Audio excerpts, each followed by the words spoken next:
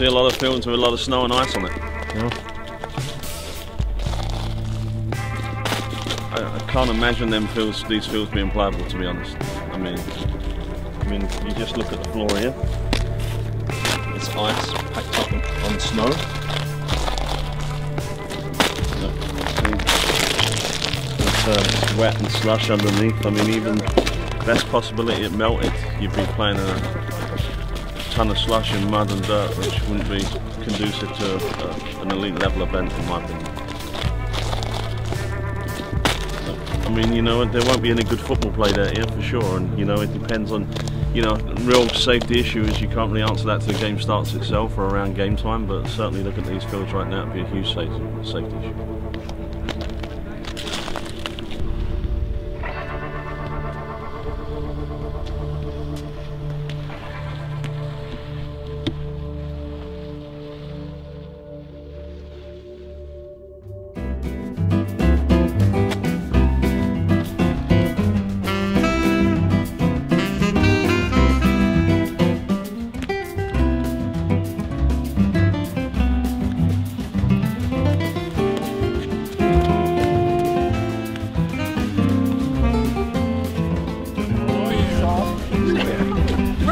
Chicago. It's like, I know. how, how can there be nothing? I don't understand.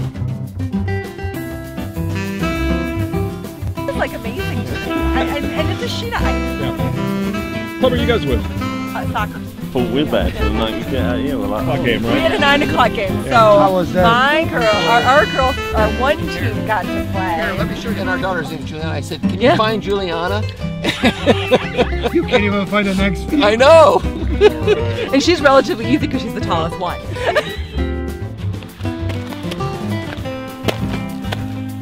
We, we got uh, a little over a half game in. Yeah, we started at uh, nine.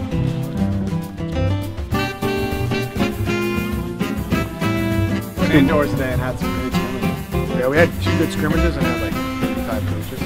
Yeah, where'd you guys go? Um, it's right down the street. It was called the Forever Soccer. I, I, I called on like Tuesday. And he's been so cool to like give us reps today, and then he didn't make it business charters till that time we come in. I've never seen this. I mean, I've never seen ice like this on a soccer field.